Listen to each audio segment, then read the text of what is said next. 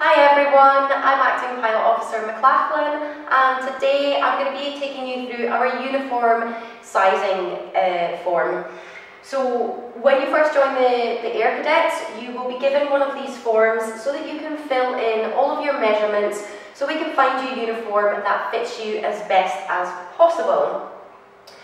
So to measure yourself, you are going to need a tape measure um, and for some of the measurements you will need another person to help you as well. So the very first measurement, measurement that we've got is your height and you will definitely need someone else to help you with this.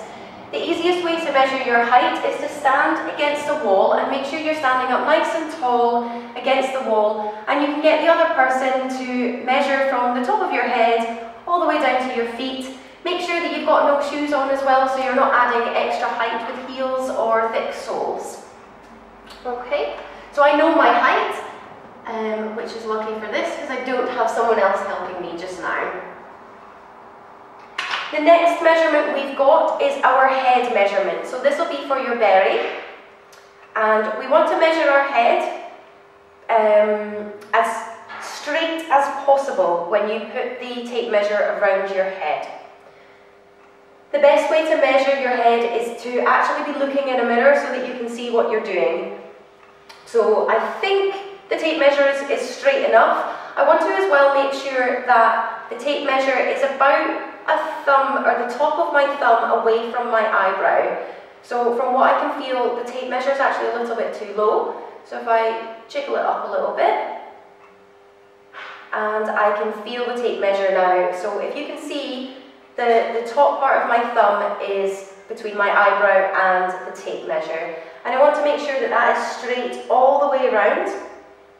And I'm just going to take that measurement from where the tape measure begins. Okay.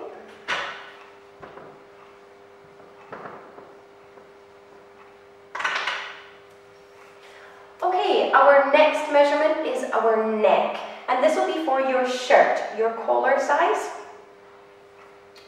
So you want to put it around your neck. Um, on the descriptions here it says measure horizontally around the fullest part of your neck.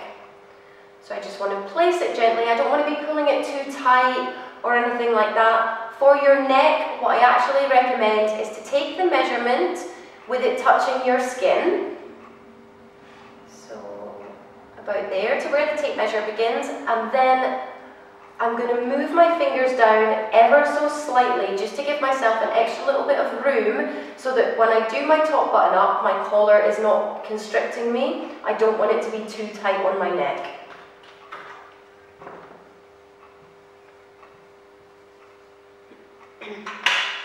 Okay, so the next measurement we've got is our chest. So in our description it says measure around the fullest part of your chest.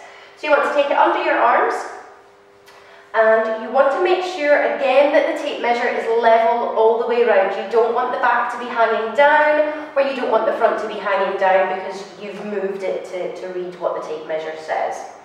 So you want to make sure it's nice and straight all the way around. And we take our measurement there.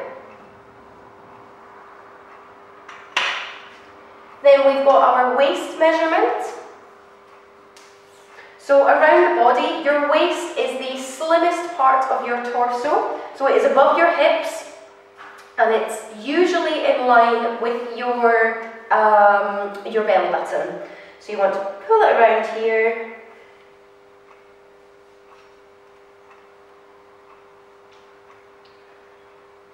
There we go.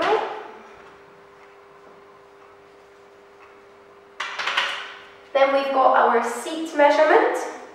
So in our descriptor, you're measuring around the fullest part of your bottom.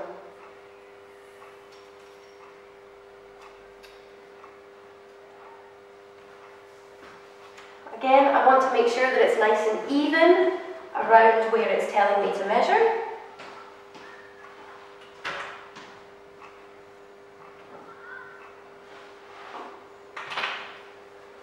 Okay, the next two measurements, I've written them in green. These are measurements if you wish to wear a skirt. So first our hips. So these nice big bony bits there, that's your hips. You want to put it all the way around. Again, making sure that it's even all the way around, it's not dropping down or slip down at one side.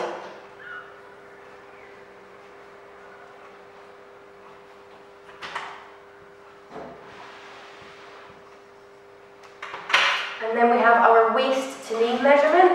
This is another measurement where it would be useful to have another person. So you want to hold the top of the tape measure where you measured your waist, so that um, jutting in bit of your, of your torso.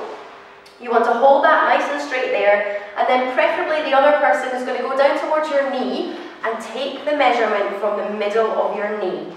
Obviously I'm just by myself, so what I'm going to do, and if you're by yourself you can do this as well, I'm going to hold the tape measure at my waist and I'm going to run my fingers down and keep it in place so when I bend down I know that that measurement is still going to be uh, where I need it to be. And then I'm just going to pull it down and then I'm going to measure roughly in the middle of my kneecap.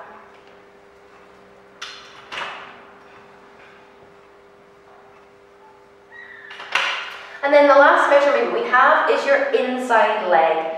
So our descriptor here is measure from the top of your inside leg to your ankle. So not to the floor and not above your ankle.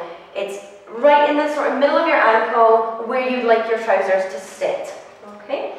So middle of the inside leg. Again, this would be useful to have another person help you with this so you can hold it here and someone else can check your measurement down at your ankle. But I'm just going to do the same as I did for the waist to knee measurement. I'm going to run my finger down, make sure I'm holding it in the right place. I want to stand like that as if, um, so I can get a nice straight measurement all the way down. And I'm going to take that measurement just at the middle of my ankle bone.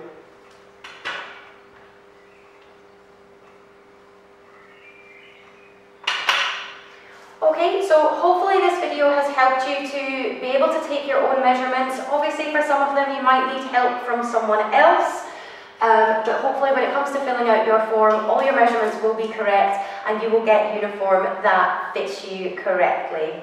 Thanks for watching, bye!